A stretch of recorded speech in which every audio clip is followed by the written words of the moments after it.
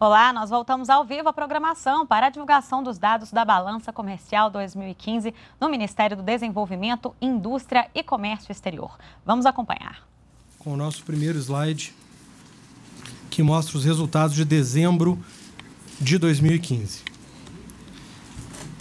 Em dezembro de 2015, nós tivemos exportações de 16,8 bilhões de dólares, média diária de 762,9 milhões é, o que representa uma redução de 4% pela média diária em relação a dezembro de 2014.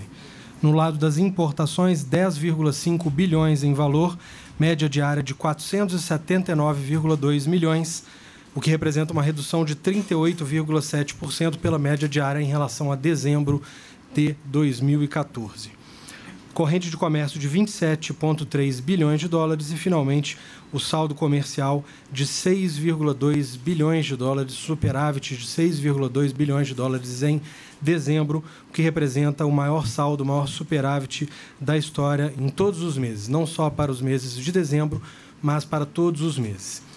É, o resultado de, de dezembro reflete bem o que foi 2015.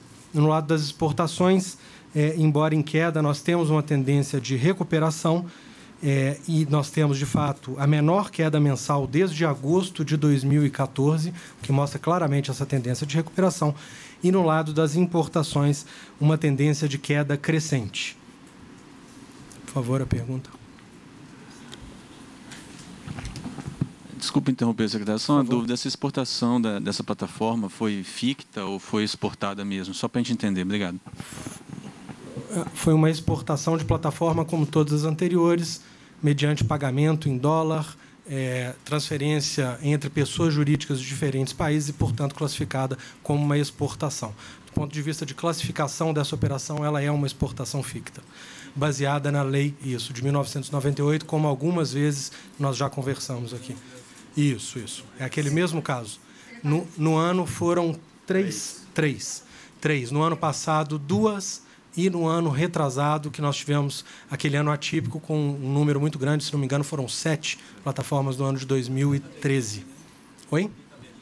Temos, temos a tabela, e se vocês precisarem de qualquer dado sobre isso, nós compartilhamos também. Eu só pedi o raciocínio do senhor quando Por o senhor favor. fala de recuperação nas exportações e sobre a importação, quando o senhor deu o dado de dezembro, só para repetir que eu queria mandar isso, por favor.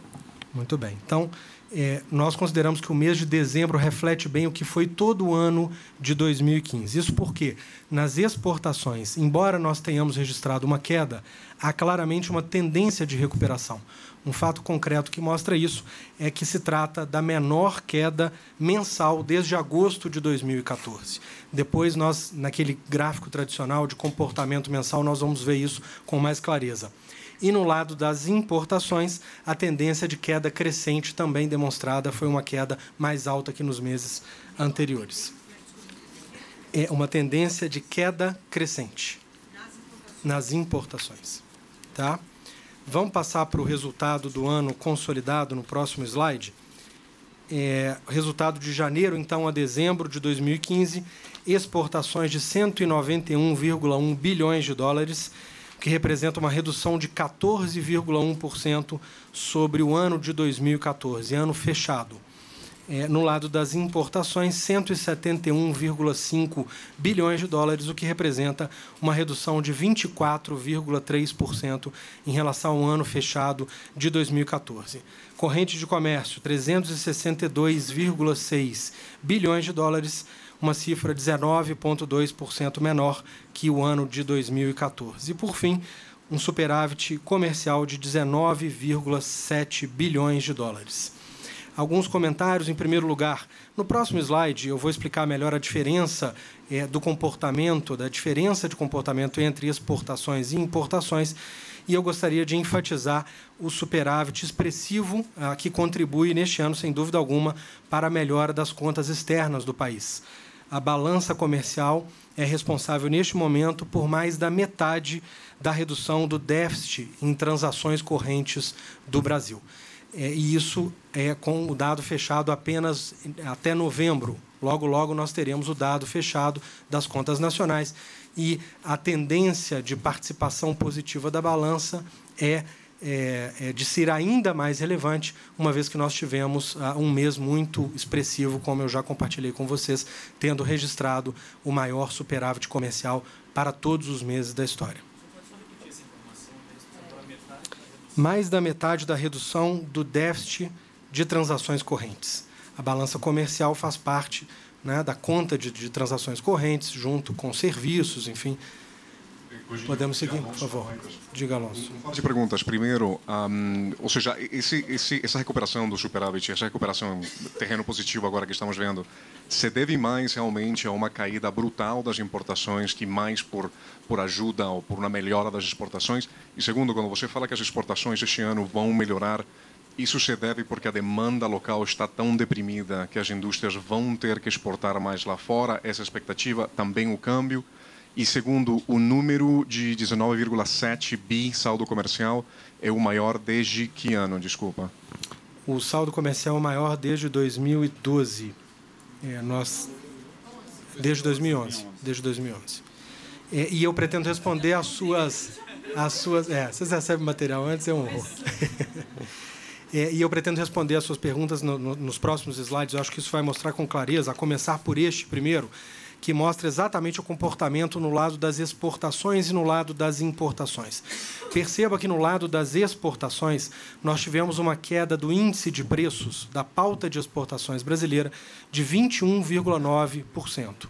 Do lado das quantidades, do quantum, do volume exportado, nós tivemos um aumento de 10,1%. Portanto, o que aconteceu no lado das exportações é que o aumento de volume de exportações brasileiras em 2015 foi mitigado pela queda dos preços.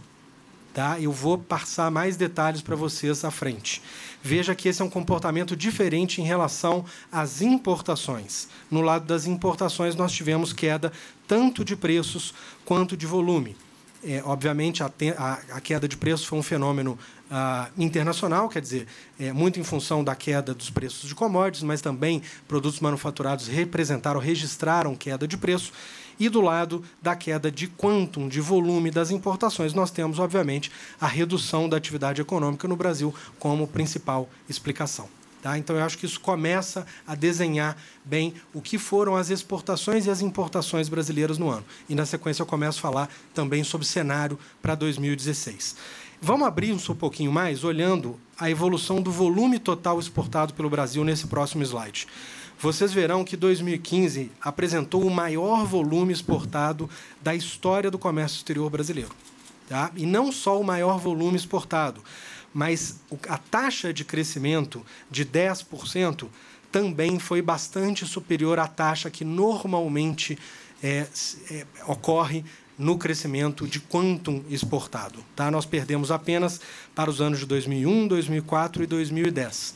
Portanto, o ano se destaca como um ano de forte crescimento de quantidades exportadas é, forte taxa de crescimento dessas exportações. E olhando para as mercadorias que mais contribuíram para esse crescimento de volume, nós temos o minério de ferro, nós temos o petróleo, a, so a soja, o milho, os manufaturados de ferro e aço, semi-manufaturados, melhor dizendo, de ferro e aço, e a celulose. Além desses produtos, nós temos também um destaque muito importante no aumento de número de unidades vendidas de veículos Tá? Nós tivemos 43 mil unidades de veículos exportados, um crescimento absoluto de 43 mil unidades ah, de veículos, o que representa 11,8% em relação a 2014. E esse crescimento ocorreu não só em relação a veículos, mas também a aeronaves, quando nós tivemos um aumento de 16% eh, das nossas aeronaves exportadas. Portanto, isso ilustra muito bem e com detalhes o crescimento de quanto das exportações brasileiras. Mas se no slide seguinte nós ah, formos avaliar eh, o crescimento, que o crescimento de quantum foi justamente mitigado pelo efeito preço, que atingiu os principais produtos da pauta de exportações do Brasil. Então, nós sempre mostramos esse slide é, com os três principais produtos da pauta. O complexo soja, agrupamos todo o complexo, não só a soja em grãos, mas todo o complexo, óleo e o, o farelo também, petróleo e derivados e o minério de ferro. Nesses três produtos, nesses três grupos de produtos, mesmo com grandes aumentos de quantidades exportadas, a redução dos preços causou um impacto negativo na receita de exportação. Tá? A queda de exportações brasileiras nesses três produtos representa praticamente 70% da queda total das exportações brasileiras no ano de 2015. Isso mesmo com um expressivo aumento de quantidades exportadas. Apenas para dar alguns exemplos, no minério de ferro, nós temos uma queda de preço de 48,7% no ano de 2015. E temos hoje é, o menor preço desde 2006. No complexo soja, nós temos uma queda 2006. No complexo soja, nós temos uma queda de 24% no preço e temos hoje o menor preço desde 2007. E em petróleo derivados, uma queda de 48,5% no preço, o que representa. Hoje nós temos o menor preço desde 2005. Nós sempre fazemos esses exercícios, esse tipo de exercício, para que vocês possam ver com clareza o impacto da redução, da queda dos preços de commodities na nossa balança comercial. Se nós estivéssemos exportando as quantidades de 2015 a preços de 2014, a preços do ano passado, eu nem estou recuando para preços recordes de commodities registrados nos anos de 2011, 2012, apenas com os preços de 2014, nós teríamos uma receita adicional de exportações de 37 bilhões de dólares. Apenas nesses três grupos de produto. Então vejam o impacto efetivo é, minério, é, complexo soja, petróleo e derivados. Então, se nós estivéssemos exportando as quantidades, né, exportássemos as quantidades deste ano de 2015 a preços médios de 2014, do ano passado, nós teríamos uma receita adicional de exportações de 37 bilhões de dólares. Apenas aos três produtos. Nós, obviamente, não temos como calcular para toda a pauta, isso seria um exercício de complexidade extrema. Mas esses três são os principais produtos da pauta, o que demonstra, obviamente, esse impacto forte da queda de preço. O ministro tinha falado 30 bi há duas semanas, mudou tanto assim? É, bom, o ministro, o último dado que nós tínhamos apresentado, o ministro havia falado, se não me engano, aqui é, na, no, no balanço do ano foi 34 bilhões de dólares, aqui nessa sala no dia 22 de dezembro. E agora, é, com já o resultado consolidado do ano, e esse mês que foi muito expressivo de dezembro, o número final do ano, receita adicional de 37 bilhões de dólares. E depois nós podemos compartilhar com vocês os cálculos por grupo de produto, enfim, se houver, obviamente, é, interesse. É, então, vamos passar para frente e ilustrar aqui com mais detalhes ainda a questão dos preços e quantidades é, e o resultado final, que é o valor exportado para cada produto, para cada grupo de produto. Então, nesse quadro que mostra vários produtos diferentes, nós temos para quase todos os produtos, na verdade, essa realidade que eu compartilhei. A queda de preço explica a queda de exportações, tá? porque nós tivemos aumento de quantidade, mas no final das contas tivemos uma queda de valores exportados. Mas aqui eu tenho alguns destaques a fazer. No caso da celulose, dos aviões e dos automóveis de passageiros, vocês poderão ver que houve uma queda de preços para todos esses grupos, para todos esses produtos, celulose, aviões e automóveis de passageiro, mas mesmo com a queda de preço, nós tivemos aumento dos valores exportados ao final do ano. Então, a realidade é, que explica o comportamento da maioria da pauta a maioria dos produtos relevantes da pauta de exportações brasileira não se aplica a alguns produtos e os destaques são celulose, aviões e automóveis, que, ainda que em que pesem as quedas de preços, registraram aumento de valor exportado. E aí, obviamente, mais dados para vocês nesse quadro. O senhor tinha mencionado 48,5% na queda de preço do petróleo. E nessa tabela está dizendo 49,3%. Isso, é porque aqui é o petróleo em bruto e lá é petróleo e derivados. Lá eu agrupei é, por grupo de produtos. É, como eu fiz para a soja, nós fizemos também para o petróleo e derivados. Tá bem? O senhor disse que vocês esperam uma recuperação das exportações, que, que dezembro já, já reflete isso. Né? Mas para esse ano, 2016, as commodities devem continuar com o preço caindo. Como é que vai acontecer essa recuperação? Eu, eu peço licença para responder isso com mais detalhes na frente, quando a gente falar um pouquinho de cenário 2016. Mas eu vou abordar exatamente esse ponto e há uma diferença que você já matou entre o comportamento dos produtos manufaturados e dos produtos básicos. Mas nós vamos, vamos chegar lá. Vamos seguir mais um pouquinho. Eu gostaria de mostrar para vocês agora os produtos com recorde em volume exportado. Aí está um quadro mais amplo, mas eu quero destacar o minério, a soja, o petróleo, o milho e a carne de frango. Mais uma vez, em todos esses casos, nós tivemos queda de preço que mitigou o resultado final em termos de valor exportado. Mas isso não tira o mérito do aumento de volume exportado em todos esses produtos que registraram recordes históricos de exportações ah, brasileiras. É, mas talvez o grande destaque fique por conta justamente da celulose, que registrou recorde não apenas em volume, mas também em valor. Então vejam bem, a celulose já havia feito destaque do, do, comportamento diferente, mas nesse, no caso desse produto específico, nós temos um recorde histórico em volume e em valor. No próximo slide, nós destacamos alguns produtos com recorde em valor, apenas em valor. A celulose aparece mais uma vez, óbvio, eu já mencionei. Também é o caso dos óxidos hidróxidos de alumínio. Esse produto também teve é, recorde em volume e em valor. E, além disso, recordes apenas em valor. Eu queria destacar tubos flexíveis, papel, cerveja e vidros. Vamos seguir mais um pouquinho e dar uma olhada no nosso tradicional slide sobre a conta petróleo. E aqui eu quero destacar, em primeiro lugar, de acordo com as nossas previsões feitas no início do ano de 2015, que nós tivemos um aumento expressivo da produção de petróleo no país. O número final que nós temos é de 9,6% de aumento de, de, de, produção, e isso redundou num a, aumento de exportações na casa de 43,7% em volume. Mais uma vez, é necessário lembrar que a queda de preços fez com que houvesse uma queda final é, no valor de exportação. Mas aqui eu gostaria de destacar a redução expressiva do déficit da conta petróleo nos últimos anos. Em 2013, e muitos estavam aqui, nós registramos um déficit de cerca de 20 bilhões de dólares na conta petróleo. Em 2014, 17 bilhões de déficit.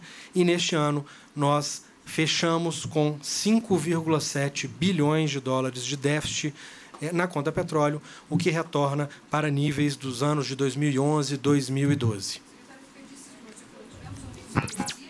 Na produção de petróleo, 9,6%, e na exportação em volume, 43,7%. O mesmo raciocínio dos preços se aplica, obviamente, aqui, talvez principalmente aqui. 43,7%. Exportações em volume. E aí o resultado disso é a redução expressiva do déficit como um todo da conta petróleo, que neste ano, então, atingiu 5,7 bilhões de dólares. Temos mais uma pergunta. Então. Vamos, vamos pela ordem aqui. Dúvida sobre o impacto né, dessa conta petróleo. Tudo bem, está exportando, a quantidade está ótima, cresceu bastante mas 11,2 bilhões de reversão é quase metade do, do, da reversão de um ano para o outro, né? não é muito. Quer dizer, melhorou, mas metade é por conta do efeito estatístico da conta petróleo. Não por causa, né?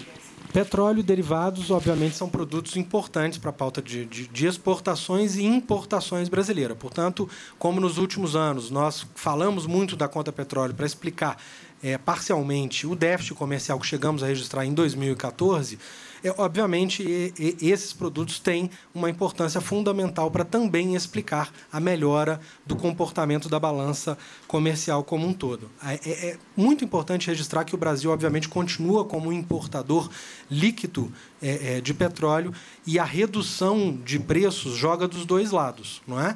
Se nós é, exportamos mais em quantidade mais menos em valor, obviamente nós importamos também muito menos em valor. E é essa matemática que faz com que haja, no final das contas, a redução expressiva da conta petróleo, do déficit da conta petróleo.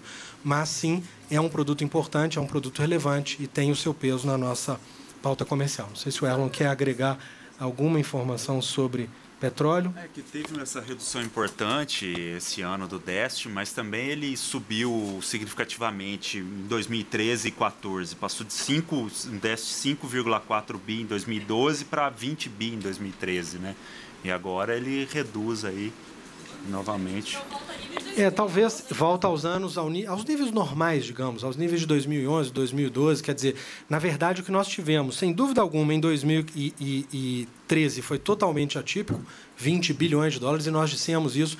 Isso foi resultado de uma queda de produção é, de petróleo no país, o que afetou as exportações, fez com que fosse necessário o aumento também reduziu as exportações e fez com que fosse necessário o aumento de importações e agora com o aumento de produção, que, o que é uma tendência, é, nós teremos mais é, exportações e menos importações, trazendo sempre essa conta para patamares mais baixos e não muito elevados, como nós registramos de forma atípica em 2013 e 2014. Sim, é o que todas as projeções indicam. Claro. Quais números exatamente?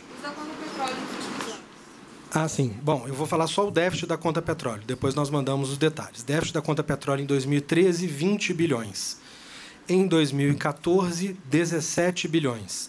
E neste ano, no ano passado, na verdade, 2015, 5,7 bilhões. 5 bilhões é um número que se aproxima muito do déficit registrado nos anos de 2011 e 2012 em ambos esses anos, o déficit ficou na casa dos 5 bilhões. Então, nós retornamos aos patamares normais, digamos, de déficit na conta petróleo.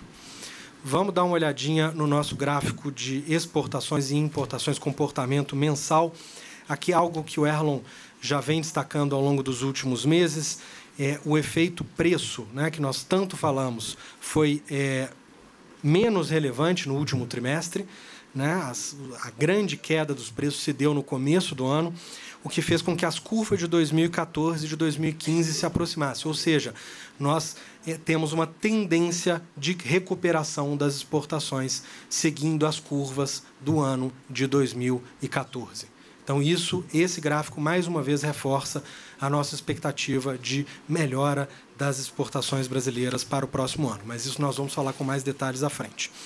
No lado das importações também fica muito claro, se vocês reparam, a partir de julho em especial, a tendência de redução é, das, das, importações, especialmente a partir do segundo semestre, muito acentuada a partir do mês de outubro. Vamos seguir mais um pouquinho e olhar as exportações brasileiras por fator agregado. Aqui eu gostaria de destacar, os números estão todos aí. Ah, nós tivemos a queda em todos os, os grupos de produtos. É, mas apesar da queda é, em valor, nós tivemos aumento de quantum em todas as categorias também. Isso é algo que eu gostaria de ressaltar. Aquele aumento a que eu já me referi algumas vezes de quantum exportado ocorreu em relação a todas as categorias de produtos básico industrializados, semi, manuf e operações especiais.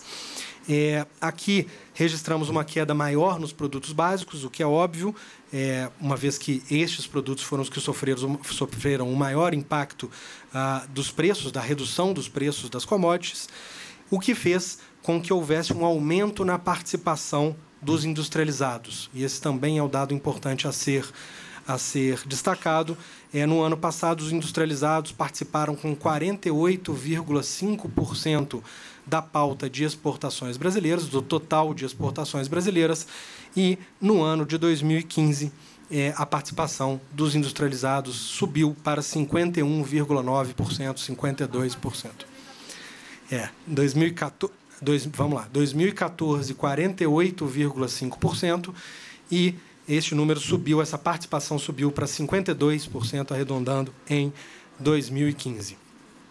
É, E eu gostaria de destacar ainda sobre os produtos industrializados, em especial sobre os manufaturados, a redução do déficit da balança de manufaturados, é, objeto de vários encontros e vários, várias conversas entre nós também, é de 109,5 bilhões de dólares em 2014 para 71,9 bilhões de dólares em 2015. Então, houve uma expressiva redução de cerca de 30% no déficit da balança comercial de produtos manufaturados.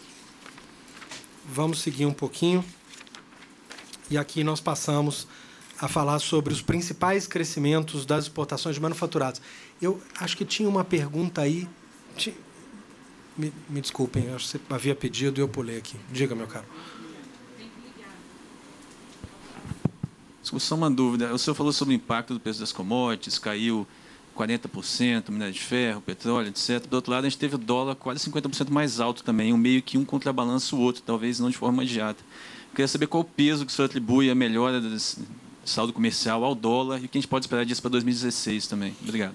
Eu vou dividir a minha resposta primeiro no efeito do, do, do câmbio, da desvalorização cambial nas exportações no ano de 2015.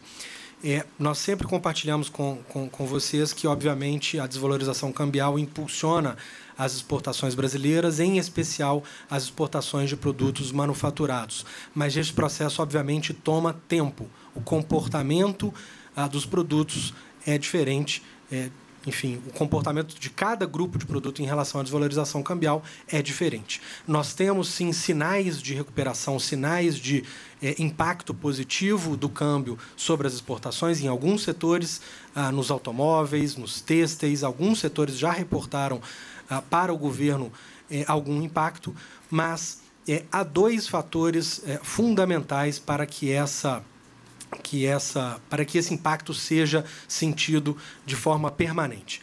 Em primeiro lugar, o próprio tempo. Isso, esse processo toma tempo. Então, nós precisamos esperar estudos internacionais que apontam três anos como um período médio para é, é, para que as exportações respondam ao câmbio, enfim, e como eu disse mais uma vez, tudo depende é, de cada é, grupo de produto. E o principal é talvez a estabilização do patamar cambial. Mais importante que o patamar é, é, na verdade, a estabilização do câmbio, que é o que garante ao exportador a previsibilidade necessária para o planejamento dos seus negócios, das suas vendas e para o aumento das suas exportações.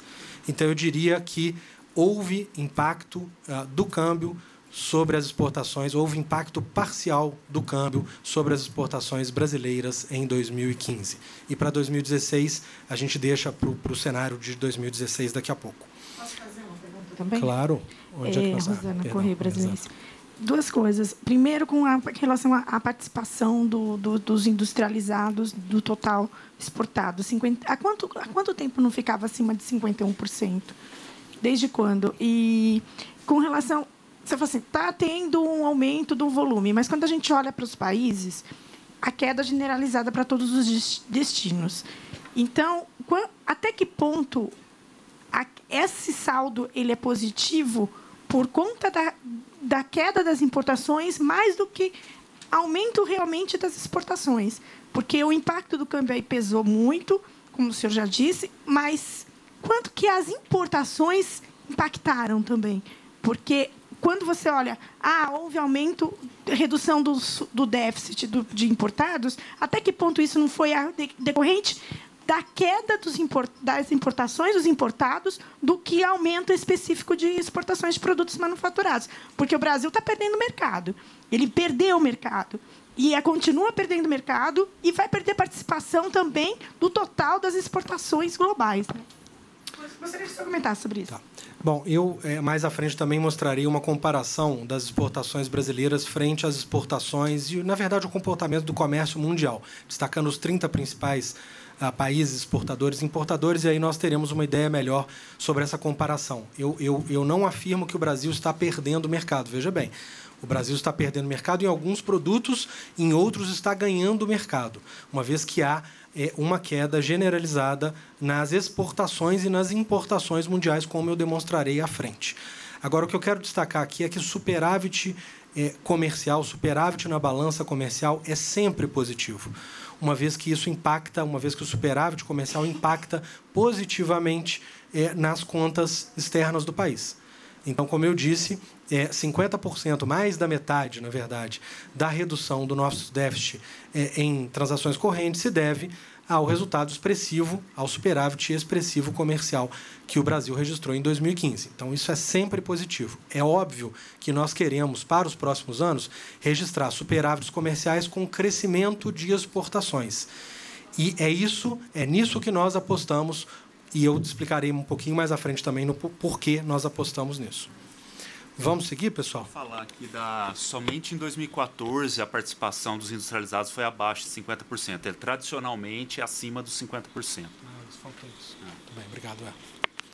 Muito bem. Vamos dar uma olhadinha aqui rapidamente nos principais crescimentos das exportações de manufaturas antes de entrar no quadro, e aí tá estão os dados todos para que vocês possam analisar e refletir, eu queria fazer um destaque especial que não está no, no, quadro, que são os veículos. Aqui no quadro nós agrupamos apenas produtos, e aqui eu fiz um destaque um pouco mais amplo com veículos, é, com aumento, que registraram aumento de 12% é, de exportações em termos de unidades exportadas, é, aumentos expressivos para México, de 76%, também para Uruguai, 13%, Argentina, 6%. Então, aqui eu me refiro aos veículos, exportações brasileiras de veículos. E aqui eu gostaria de aproveitar para destacar a ação firme do governo na assinatura de acordos automotivos com todos esses países, o que certamente colaborou para esses resultados, e apontar para uma perspectiva muito positiva, em especial para estes produtos para o ano de 2016,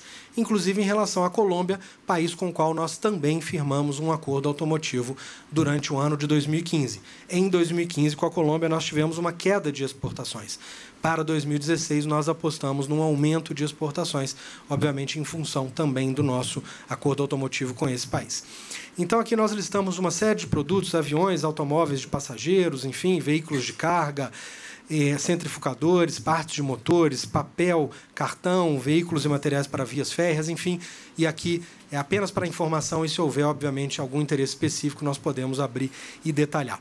E aí, mais uma vez, eu aponto para uma perspectiva geral positiva para 2016, é, como eu explicarei mais à frente com detalhes, mas quero adiantar aqui, quando eu falo de crescimentos de exportações de manufaturados em 2015, uma pesquisa feita pela CNI, que vocês conhecem, que apontou que 57% das indústrias que exportaram em 2015, então nós estamos contabilizando todas essas, todos esses produtos já exportados, que pretendem aumentar as vendas externas em 2016. Então, isso mais uma vez aponta para a perspectiva, para a expectativa de aumento das exportações em 2016, em especial de produtos manufaturados.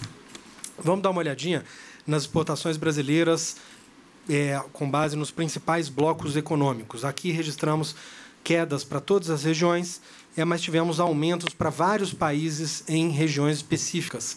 Claro que aqui nós poderíamos passar uma tarde, mas só para dar um, alguns exemplos para vocês. Na Ásia, nós tivemos crescimento para o Vietnã, para a Malásia, para Bangladesh. Na União Europeia,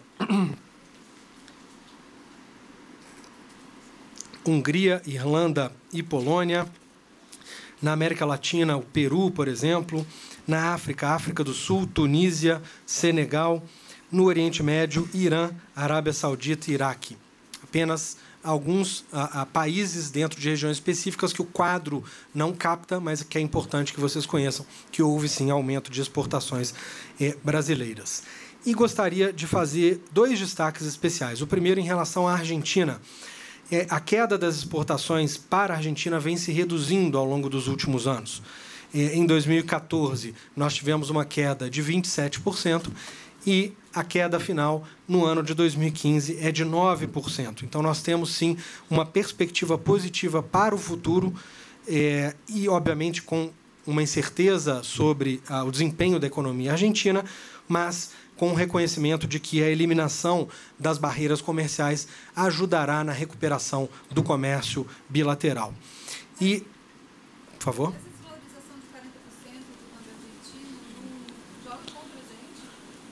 Mais uma vez, é, há impacto certamente do câmbio. Para cada grupo de produto, esse impacto variará.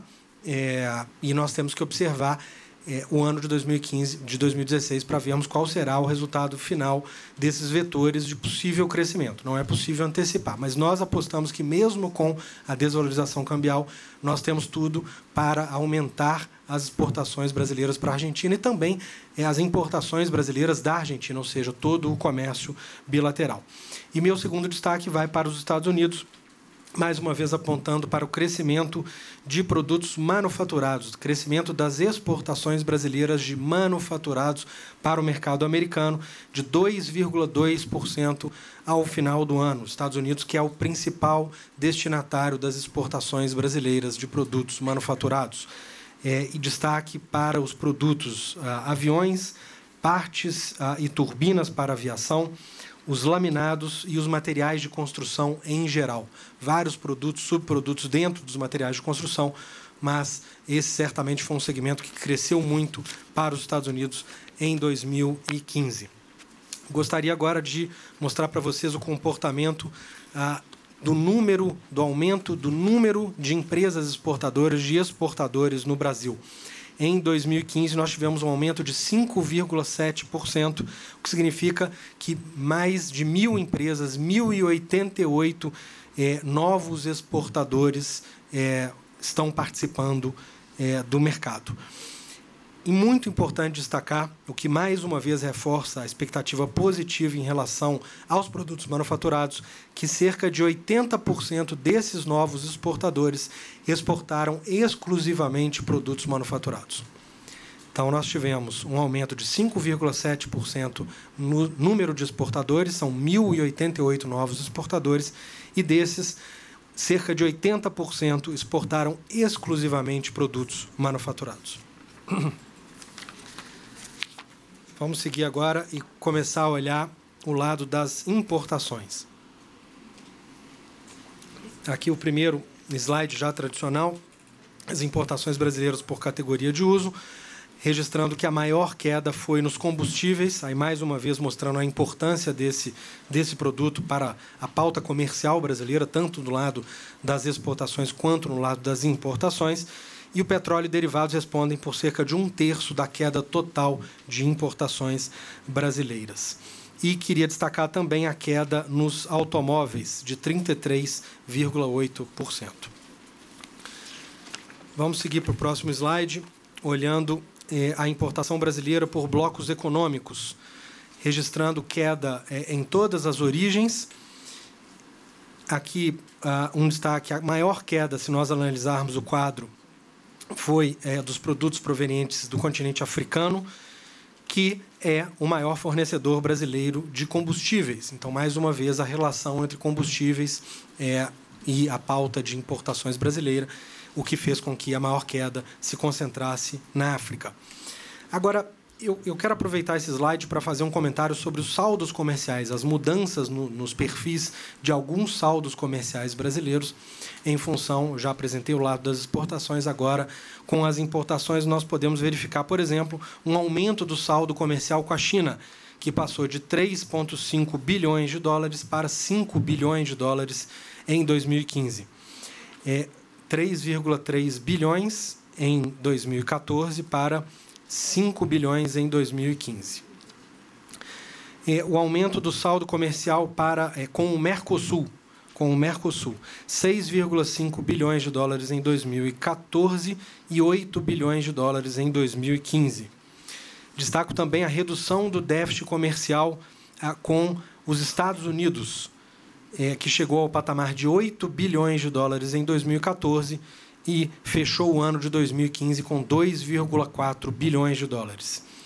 Destaco a redução do déficit comercial, por fim, com a União Europeia, que chegou a 4,7 bilhões de dólares em 2014 e fechou o ano de 2015 com 2,7 bilhões de dólares. Vamos seguir à frente.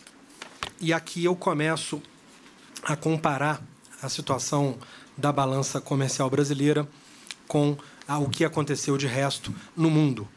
Com uma primeira constatação: 2015 foi um ano muito difícil para o comércio internacional como um todo. Se nós avaliarmos o conjunto dos 70 países que representam 90% do comércio internacional, do comércio mundial, ou seja, os maiores players do comércio internacional, nós notaremos que houve uma queda nesse conjunto de 11% nas exportações e 13% nas importações. Isso para o conjunto de 70 países que representa 90% do comércio mundial, ou seja, os países mais representativos, mais significativos. Desse conjunto total de 70 países, somente quatro países registraram aumento de exportações em 2015. E esses países foram Vietnã, El Salvador, Irlanda e Guatemala. Então, dos 70 países, dos 70 principais players, apenas quatro registraram aumento de exportações: Vietnã, El Salvador, Irlanda e Guatemala. E no lado das importações, apenas dois países registraram aumento de compras, aumento de importações. Esses países foram o Vietnã e as Filipinas. Então é importante contextualizarmos o desempenho da balança comercial brasileira no que ocorre, no que ocorre com, enfim, o comércio internacional como um todo. E neste slide nós destacamos os 30 principais exportadores mundiais. E o Brasil, neste ranking, fica em vigésimo lugar em termos de desempenho. Só o Vietnã registrou crescimento de exportações, vejam bem. Dos 30 maiores exportadores mundiais, apenas o Vietnã registrou crescimento de exportações. Alguns exemplos: a China caiu 3%, o México caiu 3,6%. Os Estados Unidos caíram 6,5%, a Alemanha caiu 11,6%. O Brasil caiu 14,1%, como nós já falamos, e alguns países caíram mais do que o Brasil. A Itália, por exemplo, 14,3%, Países Baixos, 16,5%, a Índia, com 17,5%, a Austrália, com 21,5% e a Rússia, com 32%. É para mostrar o nosso desempenho, mais uma vez, comparado com o desempenho dos maiores exportadores do mundo. Agora, esse gráfico, esse slide se refere a valores exportados. E aqui, mais uma vez, eu gostaria, no próximo slide, de a, ah, olhar com vocês o comportamento das exportações mundiais em termos de quantum, de quantidades, de volumes. E neste uh, ranking, a posição do Brasil ganha destaque. É, em primeiro lugar, é importante destacar que o FMI projetou um crescimento em 2015 de 3,1% para as exportações mundiais como um todo, em volume. E, como eu já compartilhei com vocês, o Brasil cresceu 10%, 10,1%, portanto, mais que o triplo das exportações mundiais projetadas pelo FMI. Obviamente, nós não temos os dados consolidados de todo o mundo, sequer desses 30 principais players fechados. Nós certamente voltaremos com esses dados fechados, mas até a nossa última análise, é, cerca de outubro, em cerca de outubro, quando nós tínhamos é, um conjunto de dados é, bastante completo, é, nós verificávamos que essa era efetivamente a média de crescimento é, no mundo. E nós pegamos, olhando para o slide agora especificamente, o mesmo conjunto dos 30 principais exportadores do mundo. E neste conjunto dos 30 principais exportadores, apenas o Vietnã aparece na frente do Brasil. Tá? O Brasil vem em segundo lugar com crescimento de 10,1%, o que reforça mais uma vez a expectativa positiva para o nosso ano. Em termos de volumes, as exportações brasileiras em 2015 representaram, ou, na verdade, é, mostraram bastante dinamismo. E agora nós fechamos com destaques de 2015 e, finalmente, o cenário para 2016. Em termos de destaques de 2015, superávit comercial de 19,7 bilhões no ano, que contribuiu para as contas externas do país. Superávit de dezembro, de 6,2 bilhões, que representou um recorde histórico é, para valores mensais o crescimento de 10,1% das quantidades exportadas, o triplo da média mundial. Recordes nos volumes exportados de vários produtos, como soja, minério de ferro, petróleo, milho, celulose e carnes eh, de aves. O crescimento do número de exportadores, é, mais 1.088 exportadores.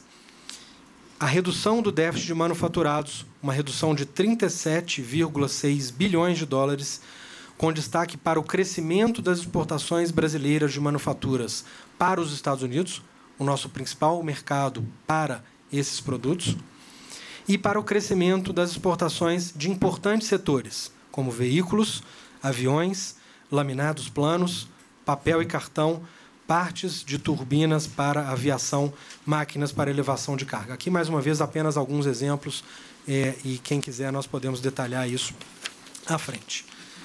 Finalmente, em termos de cenário para 2016.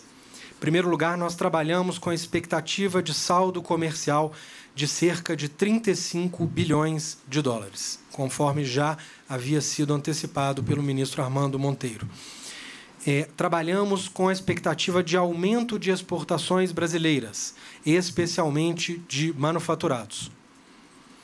Trabalhamos com a taxa de câmbio média acima de 2015. Lembrando que a taxa média de 2015 ficou em 3,34 reais. Taxa média de 2015 ficou em 3,34 reais. E nós não, nós não, não fazemos e nem podemos fazer previsão de taxa de câmbio. Acho que a pergunta é para o prédio aí do lado. Não, nós não podemos. Mas certamente uma taxa de câmbio, uma taxa de câmbio superior àquela registrada em 2015, o que favorecerá as exportações brasileiras. E esse, obviamente, é um dos principais motivos que nos fazem acreditar que nós teremos aumento de exportações no ano de 2016 é, trabalhamos com a expectativa, na verdade, com a previsão da Conab de aumento da safra brasileira de grãos. A Conab prevê um crescimento de 1,5%. E com isso, a safra brasileira de grãos chegará a 211 milhões de toneladas no ano de 2016. Trabalhamos com a expectativa de estabilidade dos preços das commodities agrícolas. Obviamente, essa é uma variável que escapa totalmente ao controle do governo. Da mesma forma é, que os preços das commodities minerais, mas essas, em relação a essas, nós temos ainda um maior grau de incerteza. Então, se nós apostamos é, na estabilidade dos preços das commodities agrícolas, no caso das commodities industriais, nós trabalhamos com um cenário de maior instabilidade. E tudo isso, meus caros, num, num cenário de é, perspectiva também de baixo crescimento da economia e do comércio mundiais para 2016. Essa é a expectativa geral. E se nós olharmos para as principais economias do mundo, nós veremos que ah, há diversas incertezas, há muita incerteza sobre é, o crescimento da economia chinesa, há muita incerteza sobre o crescimento da economia argentina, um importante parceiro comercial brasileiro. Há uma expectativa de crescimento modesto ah, da economia europeia. E, por fim, aí a nota positiva e distoante, há uma expectativa de manutenção do crescimento econômico eh, dos Estados Unidos, que é, mais uma vez, repito, o principal destino das nossas exportações de manufaturados e que também auxiliará é, no aumento das nossas exportações de produtos manufaturados. Então, obviamente, o resultado do ano de 2016 será a soma de todos esses fatores e vetores. E aí, obviamente, ao longo do ano, nós vamos estar aqui juntos avaliando o que está acontecendo. Mas, certamente, nós trabalhamos com é, a expectativa de aumento de exportações. E, por fim, o elemento final é, para que nós tenhamos a confiança nesse aumento de exportações é, obviamente, a implementação das ações previstas no Plano Nacional de Exportações, em especial aquelas que dizem respeito à facilitação de comércio. Em 2015, nós já tivemos diversos avanços no nosso Portal Único de Comércio Exterior, o que já está auxiliando nas operações de comércio exterior do país. E em 2016, nós teremos um ano decisivo com a entrada é, em funcionamento do novo fluxo simplificado de exportações, o que reduzirá ou começará a reduzir é, prazos e custos nas operações de exportação ah, brasileiras. E, além das medidas de facilitação de comércio, depositamos uma é, forte expectativa nas ações de negociações comerciais. Nas negociações comerciais, já negociamos diversos acordos comerciais ao longo de 2015 e vamos ampliar esses esforços e certamente chegar a novos acordos no ano de 2016. Portanto, como somatório de todas essas forças, mais uma vez acreditamos no aumento de exportações em 2016 e um saldo comercial de cerca de 35 bilhões de dólares. Oi, é, Gabriela. Secretário, você está falando de acordos comerciais. O Brasil fechou com, com Colômbia e com Uruguai, automotivo. Eu queria saber o peso desses acordos, o que, que vai ser feito em 2016 e, e, e o que, que se pesa dentro dessa projeção aí de 35 bi para esse ano? Só os acordos. Nós assinamos é, é, diversos acordos comerciais em 2015, além dos acordos automotivos com Argentina, México e Colômbia, e Colômbia e Uruguai. Nós assinamos é, vários acordos nas, na área de investimentos, acordos de cooperação e facilitação de investimentos. E aqui é, uma, uma observação muito importante: investimento e comércio são dois lados da mesma moeda. Ao incentivarmos investimentos estrangeiros, é, brasileiros, na verdade, investimentos brasileiros no exterior, nós estamos automaticamente incentivando exportações brasileiras. É, numa, numa perspectiva de mais curto prazo, os acordos automotivos são aqueles que prometem gerar o maior resultado. Tá? É, no caso é, desses mencionados, é, da Colômbia, que ano que vem, na prática, as cotas negociadas com no acordo com a Colômbia representam livre comércio, é, uma vez que o volume, a expectativa de volume exportado a ser exportado para esse país certamente estará compreendido entre as cotas acordadas com tarifa zero. Então, nós achamos que isso já impulsionará de cara é, as exportações brasileiras, impulsionará imediatamente as exportações brasileiras para esse país. O mesmo se aplica a México, à Argentina, que é um parceiro fundamental, e ao Uruguai. Para o próximo ano, há desafios fundamentais. O principal deles, mais uma vez, a negociação ou a conclusão das negociações Mercosul-União Europeia. O Brasil, o Mercosul, melhor dizendo, já tem a sua a oferta pronta e trabalhamos com a expectativa de trocar as ofertas e finalizar o processo negociador. Tudo depende, é, neste momento, do agendamento de datas da sinalização, na verdade, de parte europeia para que as negociações é, possam prosseguir. Além das negociações. Não, não, não. Essa, nós esperamos concluir esse acordo em 2016. A mesma coisa, a troca de ofertas e, se trocarmos a oferta, por que não a conclusão do acordo? Né? É, além disso, nós, não, nós, nós é, sinalizamos aos europeus que nós é, gostaríamos de ter trocado as ofertas até o final do ano de 2015. Agora nós trabalhamos com a expectativa de que possamos trocá-las no máximo até o final de março, no máximo até o final do primeiro trimestre. É, e mais uma vez isso depende de um gesto, de uma decisão da União Europeia. E além das negociações com a União Europeia, eu destacaria as negociações com ah, o México. Nós, agora no mês de dezembro, já realizamos a troca de ofertas inicial com o México e o prazo previsto, aí sim, é, nesse processo negociador, nós temos um prazo. O prazo previsto para a conclusão do processo negociador com o México é o mês de julho. Então, é, essas negociações certamente podem trazer um resultado mais rápido para as nossas exportações. Acordo com o México é um acordo amplo, um acordo comercial expandido em todas as áreas. ampliação dos bens cobertos pelo acordo que nós já temos com o México e, além disso, investimentos, serviços, compras governamentais, propriedade intelectual, entre outros temas. Ou seja, todos os temas que um acordo comercial moderno, de última geração, é, possui. É, se, e, e, mais um, apenas um movimento, desculpe, é, nós também é, estamos trabalhando para antecipar os cronogramas de desgravação com os países todos da, da Aliança do Pacífico, da Bacia do Pacífico. É, com o Peru, nós estamos negociando um acordo que compreende a antecipação é, do livre comércio, mas também compreende serviços, investimentos, compras governamentais e facilitação de comércio.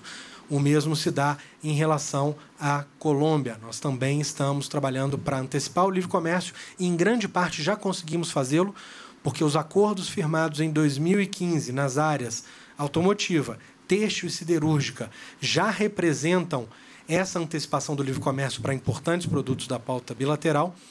É, E, por fim, em relação ao Chile, assinamos o acordo de investimento também e pretendemos assinar um acordo de compras. Então, o movimento é de ampliação dos temas cobertos pela rede de acordos, é, é, ampliação da rede de acordos é, brasileira, ampliação dos temas cobertos por essa rede e ampliação dos produtos cobertos por esses acordos. Essa é a direção com a qual nós estamos trabalhando. O Brasil é muito criticado por ser muito fechado ter poucos acordos de livre comércio com o resto do mundo e que ele está, na verdade, perdeu a janela aí de oportunidade para entrar nos grandes acordos globais, investiu erradamente ou equivocadamente na rodada Doha e também na, nesse acordo, que nunca sai do papel, União Europeia e Mercosul.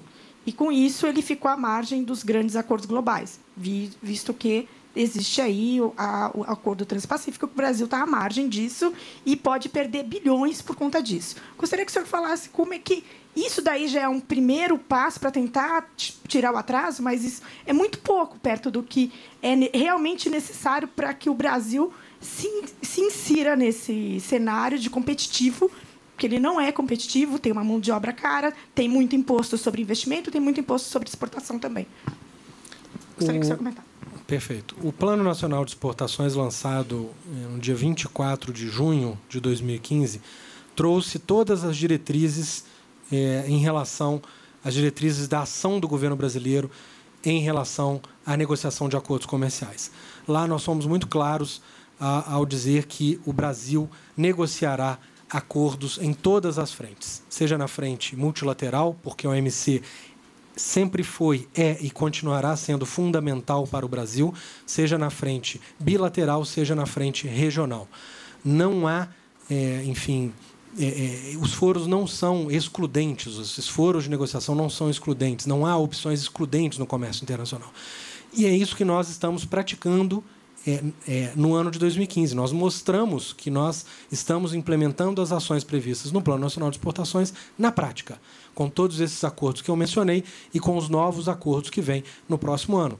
É, há uma é, intenção, um desejo do governo brasileiro e do Mercosul de iniciar um processo negociador com o Canadá. Nós temos uma consulta pública sobre o Canadá.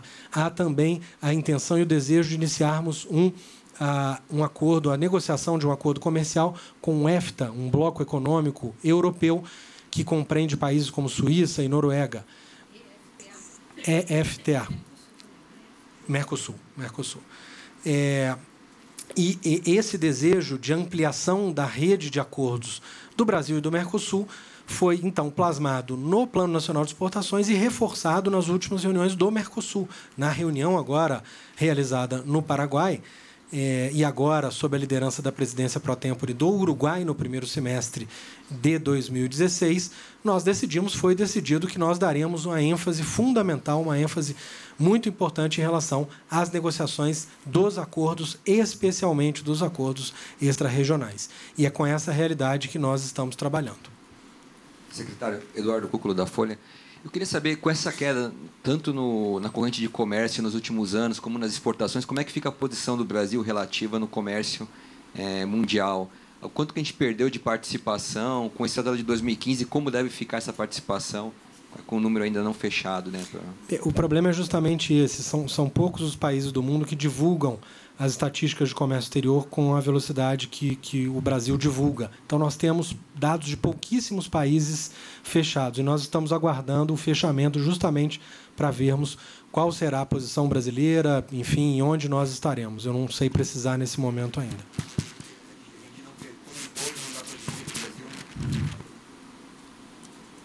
Como um todo, não dá para dizer que o Brasil perdeu participação com esse resultado de 2015, mas ele já vinha perdendo de 2013, 2014.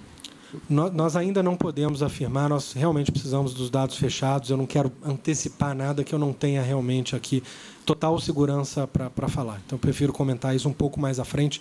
Quando é que, que nós provavelmente teremos os números fechados para que nós possamos fazer essa comparação? Março, março, março abril.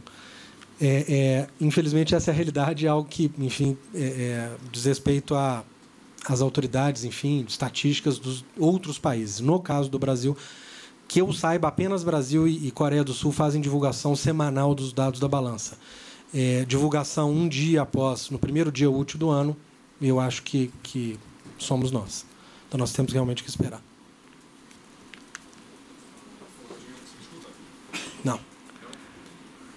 Talvez assim, alô? Muito bem. Desculpa que uma colega está saindo aqui. Um... Não, só uma coisa. É, o, primeiro que eu te perguntei sobre se vocês já estão vendo sinais de que, pela recessão que estamos vendo aqui no Brasil, um, produtores locais, indústrias, estão se enfocando mais em exportações e que isso também é um fator que poderia ajudar nessa recuperação das exportações em 2016. Olha, é, o movimento em prol das exportações, ele deve ser, ele é explicado por diversos fatores. É, talvez o principal fator é, seja a oportunidade trazida pela desvalorização cambial. Acho que esse talvez seja o principal fator é, que nos mostra é, o caminho, enfim, e o desejo dos exportadores, dos empresários brasileiros de exportar cada vez mais. Sem dúvida alguma, a, a redução da atividade econômica no Brasil influi, influencia na opção a, do empresário pelas exportações. Não é um único fator, mas seguramente é sim um fator importante. É, algum outro fator que você queira destacar? Eu acho que é basicamente isso. Secretário. E, obviamente, claro, perdão, é, é, a prioridade atribuída pelo próprio governo, né, que está trabalhando com muito afinco em todas essas ações do Plano Nacional de Exportações e tentando destravar mercados, fazer novos acordos, facilitar o comércio, o que mostra também é, que é um caminho seguro para os empresários do setor privado brasileiro. Então, secretário, nesse caminho seguro, ele tem sido o único caminho, né? A única coisa boa que a gente está vendo na economia brasileira hoje é o comércio exterior, é, é, o efeito benigno do ajuste feito pelo mercado no câmbio no comércio exterior. E o senhor ressaltou aí a importância dele para a redução do déficit de transação corrente. Ou seja, resumindo, a única coisa boa. Isso é capaz de reverter a recessão brasileira? Assim, até quanto a exportação é capaz de fazer isso? Olha, o comércio exterior sempre foi importante para a economia brasileira. O nosso desafio agora é com a oportunidade dada pela desvalorização cambial, é, pela, enfim, pela decisão tomada pelo governo brasileiro de incentivar cada vez mais as exportações. Nosso grande desafio é fazer com que o comércio exterior seja uma estratégia efetivamente central, não só para o governo, mas também para o setor privado brasileiro. Esse é o nosso grande desafio.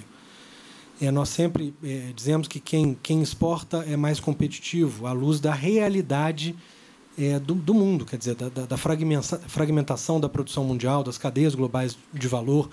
Cada vez mais a competitividade de um país é função direta do grau de participação, do grau e da qualidade da participação desse país no comércio internacional. Esse é o nosso grande desafio. O Brasil, por questões históricas, por, razões históricas, sempre foi um país que cresceu olhando para dentro. Não há nenhuma crítica é, em relação a esse a essa estratégia de crescimento, até porque o Brasil, ao longo dos vários, ao longo de sua história, sempre apresentou, quase sempre apresentou crescimento econômico. O que nós temos agora é que agregar a estratégia do comércio exterior e torná-la definitiva e central. E nós temos a grande oportunidade para fazer isso agora. Não, eu não. Enfim, aqui eu, eu tomo conta do, do, do, comércio exterior, né? Quer dizer, eu, eu posso lhe dizer que ele é importante para a economia brasileira e que nós estamos trabalhando para que ele seja cada vez mais importante. Eu não posso quantificar. O único dado que eu tenho é da, enfim, é do papel do comércio exterior como na redução do déficit de transação da, da, da, da conta corrente transações correntes. Tá bom? É, Godinho, uma, uma, coisa mais aqui. Uh, sobre esse grupo de trabalho para o setor siderúrgico, uh, setor de aço. Um, como é que está isso? Porque em um momento se falou que eles poderiam anunciar medidas uh, em dezembro de 2015, já estamos em janeiro. Como, a, como que vai isso? A decisão ainda não está tomada. Mas o grupo já está formado? Quando vocês esperam sim, que sim, grupo, possa haver algum anúncio? Grupo, eu não tenho previsão. Eu não tenho previsão. A decisão não está tomada, só posso lhe dizer com segurança. O grupo está estudando a questão e esperamos que em breve a decisão possa ser anunciada.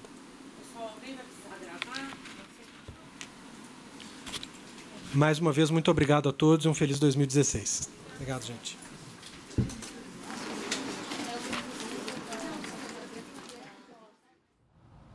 E nós acompanhamos ao vivo a divulgação do balanço da, dos dados da balança comercial brasileira de 2015. Vamos ver os principais números, então, da balança comercial do ano passado. As exportações totalizaram 191 bilhões, passaram de 191 bilhões de dólares. Já as importações, 171 bilhões de dólares, 450 milhões de de dólares. Daí a gente tira o superávit, que é a diferença entre as exportações e as importações. Deu um valor de 19 bilhões de dólares, superou 19 bilhões, mais ou menos 19 bilhões e meio de dólares. E é um número que o Ministério bateu muito na tecla, foi o destaque. Inclusive no Twitter do Ministério do Desenvolvimento, é, Indústria e Comércio Exterior, está dizendo aqui, ó, em 2015, balança comercial registrou superávit de 19 bilhões e 700 bilhões, milhões de dólares, maior saldo saldo comercial desde 2011. Ou seja, nos últimos quatro anos, o maior saldo, o maior valor do saldo comercial, desse valor do superávit, que é o valor usado para pagar os juros da dívida. Outros destaques também, outros dados além ali dos nossos, que estão aqui no Twitter do Ministério.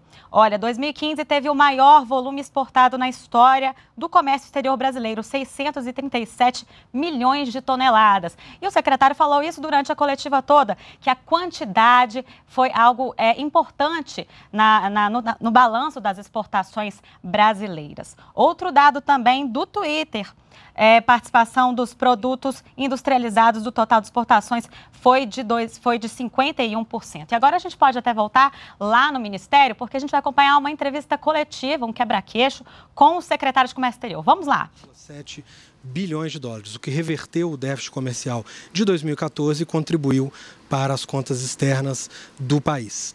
É, houve, na verdade, crescimento das quantidades exportadas no ano de 2015, mas esse crescimento foi mitigado pela queda dos preços, em, especial dos preços das commodities internacionais, e isso fez com que o resultado final das exportações eh, indicassem uma queda.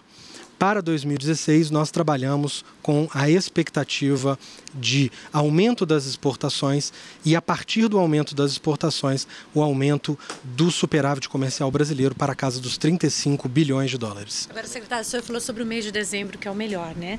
É, o que o agronegócio representou nisso? O agronegócio é um setor fundamental para a economia brasileira e, obviamente, para as exportações brasileiras. No ano de 2015, nós tivemos recordes expressivos, recordes históricos em vários produtos importantes, tais como a soja, as carnes de frango, a celulose entre outros produtos, mas, como eu já registrei, a queda de preços fez com que o resultado final das exportações desses produtos fosse negativo. Isso não tira o mérito ah, das, do recorde de exportações em termos de volumes em todos esses produtos. Dizer, no mês de dezembro, em especial, ah, o milho ah, teve uma forte, teve um, registrou um forte aumento, o que tornou esse produto um dos destaques da balança no mês de dezembro. Quer dizer, os embarques aumentaram e isso é o que deu essa contrabalança, né? Os embarques aumentaram ao longo de 2015 e o resultado final só não foi mais positivo em função da queda de preços. Mas é importante registrar que, em função da desvalorização cambial, a rentabilidade do exportador não foi prejudicada e é, certamente nós teremos mais exportações em 2016, mais produção em 2016 e mais uma vez o agronegócio contribuirá de forma decisiva para a balança comercial brasileira no próximo ano. O Ministério da Agricultura divulgou que o agronegócio representa 46% das exportações. Vocês mantêm essa informação, secretário? Isso, essa é exatamente a, a, essa informação. É, nós temos neste ano a reversão do que ocorreu no ano de 2014, quando tivemos as, a participação das exportações de produtos manufaturados abaixo dos 50%. É, como costuma ocorrer ou como ocorre historicamente, as exportações de manufaturados superaram os 50% e neste ano fecharam com 52% do total. Há também operações especiais, portanto, o valor de exportações do agronegócio ficou na casa dos 46%. Secretário, apesar então do preço, da queda no preço das commodities e do cenário interno adverso, é, aqui o senhor atribui então saldo positivo de, de mais de 19 bilhões? O saldo positivo é função direta, em primeiro lugar, ah, da desvalorização cambial, que já começa a surtir efeitos em alguns produtos importantes para a nossa pauta de exportações, como aviões, como ah, veículos, entre outros produtos. E ah, o câmbio certamente foi um fator importante para o resultado no ano de 2015. Além disso, ah, nós lançamos o Plano Nacional de Exportações e adotamos uma série de medidas, em especial nas áreas de facilitação de comércio e de acesso a mercados, com destaque para vários acordos comerciais assinados em 2015, acordos automotivos, acordos de investimento e para 2016 com a implementação de novas ações do Plano Nacional de Exportações, nós temos a certeza de que nós poderemos trabalhar com um cenário de aumento de exportações. E, secretário, por que, que o milho está sendo grande destaque agora? O milho foi. O milho vem sendo um produto importante para as exportações brasileiras nos últimos anos. É, neste ano, em especial, a safrinha é, entrou é, de uma forma muito positiva é, e nós, ah, como eu já registrei, é, esse ano terminamos com um recorde histórico nas exportações desse produto. Muito obrigada. Juliana.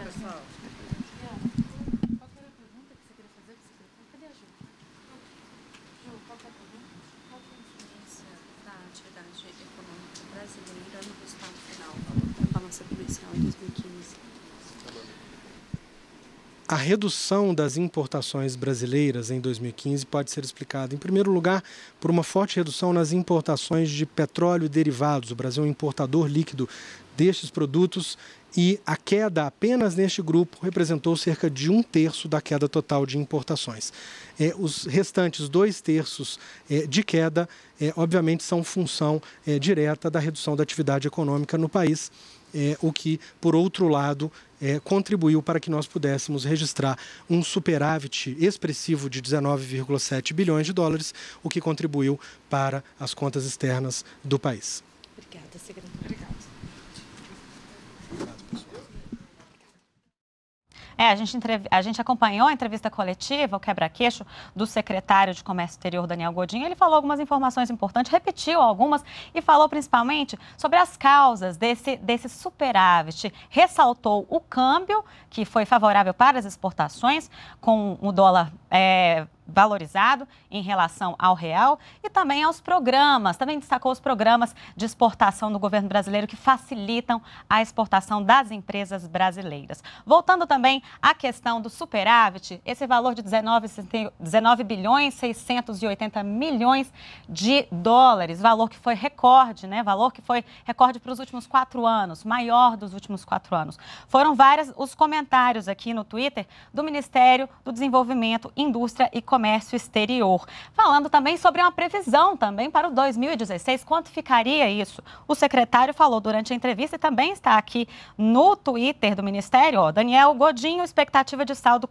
de saldo comercial para 2016 será de 35 bilhões de dólares, aí quase o dobro, né? um pouquinho menos que o dobro que seria este ano. Outros dados interessantes aqui no Twitter do Ministério do Desenvolvimento, Indústria e Comércio Exterior, é, dizendo que em 2015, o crescimento no número de exportadores foi de 5,7%. Dos 1.088 novos exportadores, 80 deles venderam produtos manufaturados. Bom, essa foi a nossa cobertura sobre a balança comercial. Ah, antes disso, vamos falar sobre os setores de destaque. Temos ali setores de destaque milho em grãos, aviões e automóveis. E também temos os nossos parceiros comerciais de destaque, que são a China, os Estados Unidos e a Argentina. Agora sim, a gente termina a nossa transmissão e você continua com a gente aqui na NBR, a TV do Governo Federal.